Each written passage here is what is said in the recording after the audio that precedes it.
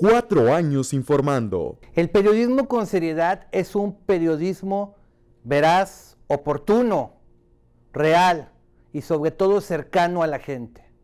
No hay un periodismo cercano a la gente cuando no se atienden las demandas sociales. Líder informativo, periodismo con seriedad.